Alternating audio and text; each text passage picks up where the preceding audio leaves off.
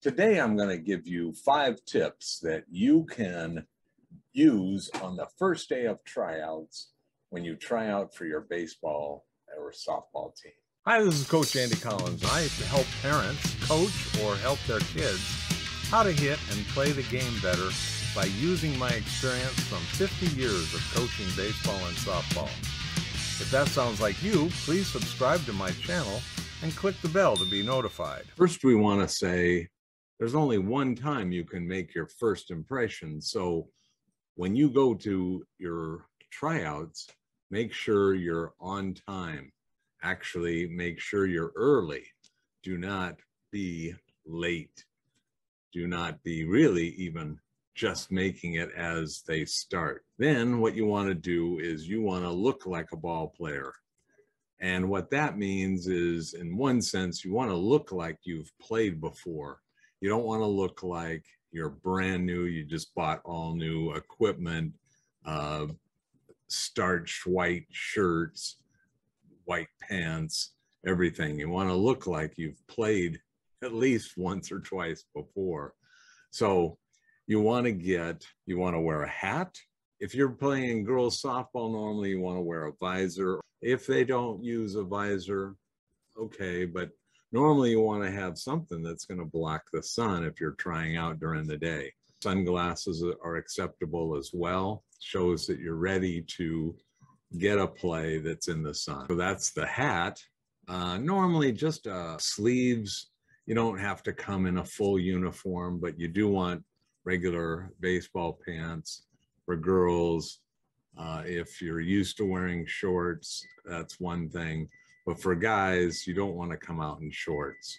You don't want to be coming out in street clothes. Make sure you wear a belt. Uh, how many people look like their pants are ready to fall off? That's not a good look. You want to look like a ball player. You want to have your shirt normally tucked in at this point. Uh, you don't know these people enough to get away with the uh, Ken Griffey shirt out, hat backwards. We're trying to make good first impression. So look like a ball player all the way down to your shoes. You don't want to be playing in tennis shoes. You want to be wearing baseball cleats.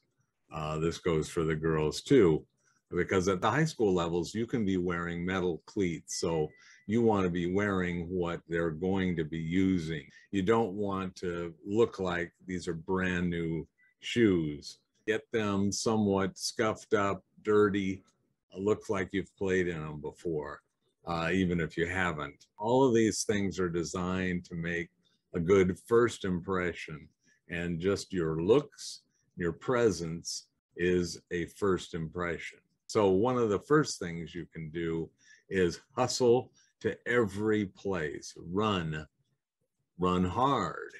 Uh, you can never outrun getting to the next station or getting to the coach when he has something to say.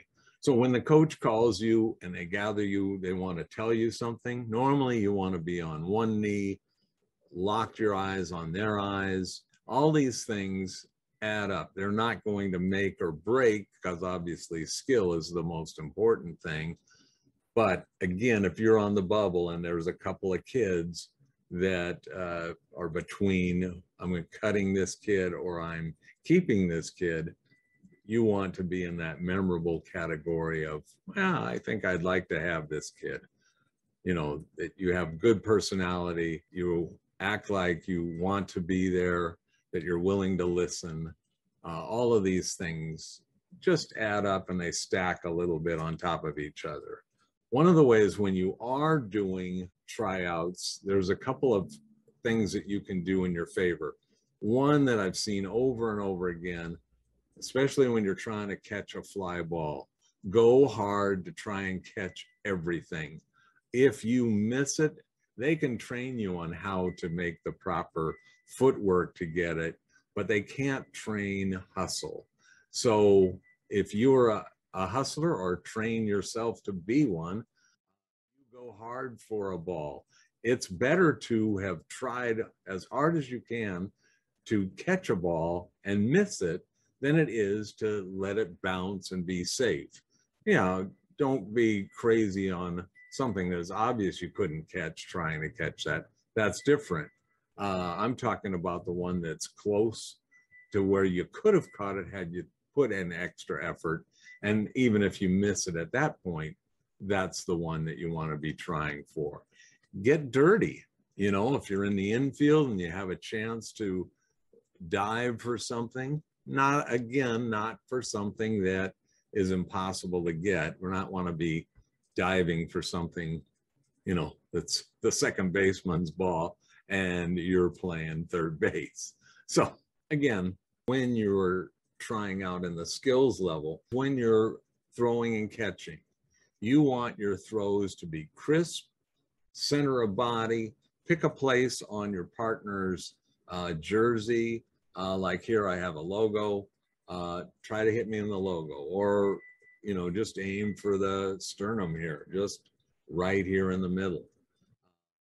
And when you're receiving the ball, give them a target that helps them throw it to you better so that you'll be able to catch it better. If they're throwing it off, go to the ball, try and catch it in the center of your body.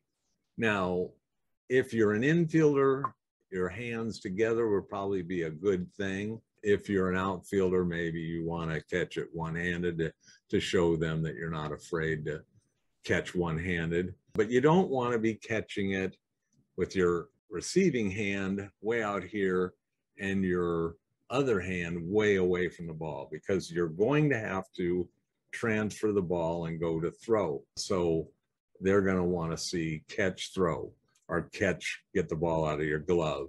And that can be done two hands together or it can be done, you know, catch, throw. Nothing way far apart. And definitely try and catch it on your throwing hand side, not off to the uh, opposite side. So in other words, when the ball is coming to you, you can just as easily catch it here, or you can move in such a way as to catch it where the ball will be on your throwing hand side or in the middle so that you can get to the ball and be ready to throw. Another tip about throwing and catching is try to pick a partner that can throw and catch.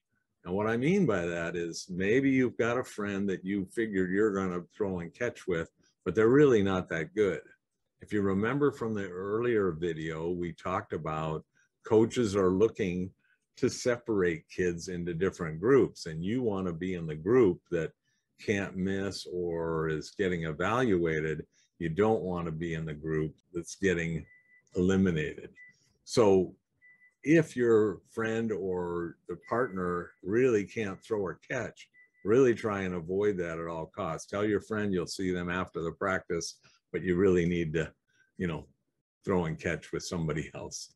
Uh, and the reason for that is uh, when you're throwing and catching, even if you throw it right into the middle of where they are and they can't catch it and it goes past them, all the coaches see sometimes is not necessarily that the kid missed it, but that somehow your throw caused that person to turn around and run after the ball. So it's, you know, it's not the most comfortable position, but you really want to get where you're throwing and catching every ball if you can. Uh, you don't want to be shagging balls on ones that you throw and or you miss really try and work that out into your practice. Be an encourager of other kids, compliment ones that you see make great plays.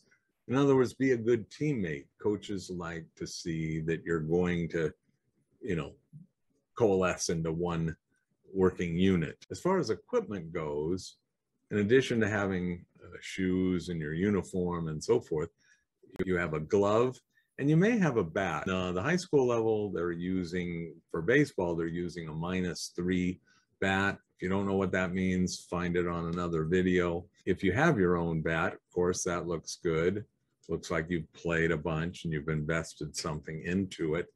What you do want to do is not worry about it. if you don't have a bat, they will have bats. So hopefully though, you can swing their bats. If you're not used to a minus three bat and this isn't, you aren't re watching this video on the night before your tryouts, get in a cage and, or somebody and get a bat that is a minus three. So you, it's not the first time you uh, swing it because it is, uh, it is a different thing, especially if you're using a minus five, eight, or uh, a lot less. As far as your glove goes, hopefully you've got a well-formed glove.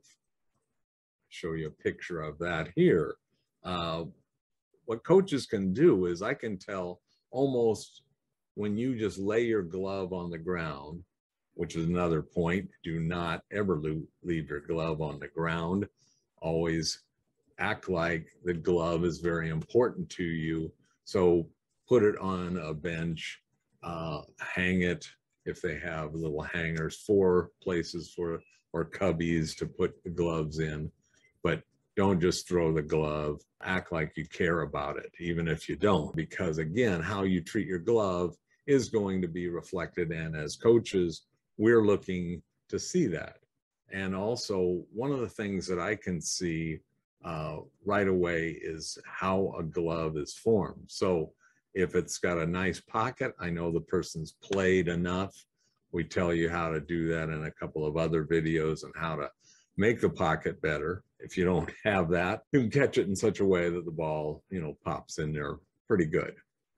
Uh, that goes with one of the things I talked about, making it look like you're a ball player. If you never used a glove or haven't used a glove in a long time and you want to buy a new one, hopefully, again, you've given yourself some time before tryouts to um, work it in. Just if you have to throw against the wall and catch it, or if you have to beat it with a bat or something that looks like the glove, it isn't the first time you've opened it. Uh, it might have a better pocket than some others. One of the problems that I see is there are some gloves, and if they lay flat, it means that they don't catch the ball in the pocket. They don't care about the pocket. And it's harder to catch a ball when the glove just lays flat. You know, you'll try and open it, but it it just doesn't open naturally to a nice pocket. The other thing that I see is if I see a glove that kind of has uh, these two fingers laying strong against the thumb, it tells me their kid is not strong enough with their little finger to catch the ball. So they're they're using their stronger fingers to catch the ball, which as a coach, that is not who I want on my team. Good luck. Hope you make it. If you want more information about how to make the team, I have a full course. And then you can also work out with me directly if you're in my area or if you want to work via the internet, uh, via Zoom or whatever.